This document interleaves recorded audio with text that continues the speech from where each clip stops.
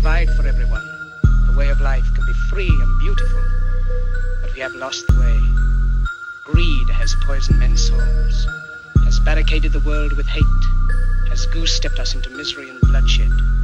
We have developed speed, but we have shut ourselves in. Machinery that gives abundance has left us in want.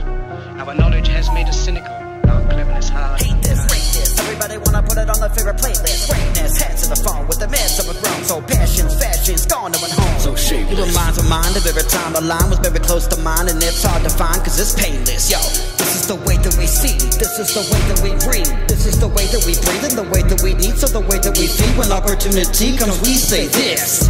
Soldiers,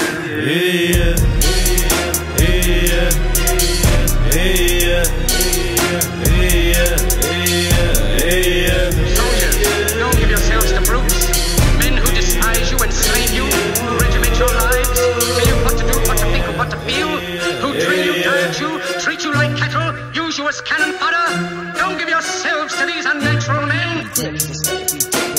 We dig in the pit of a brain it's safe. If this is okay, then we partake. We're in tech and the rest we'll say of a play. To keep it you is if none of say the president's hitting the numbers okay if you don't mind. I'd rather face my own mind. Living this on my own grind. Red pill is my thrill. The blue pill won't help kill. But still I hear you say Hey yeah,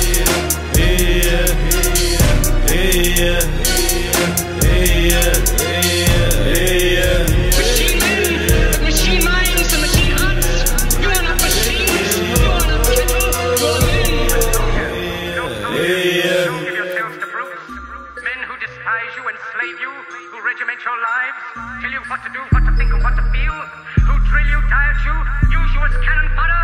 Don't give yourselves to these unnatural men. hey yeah.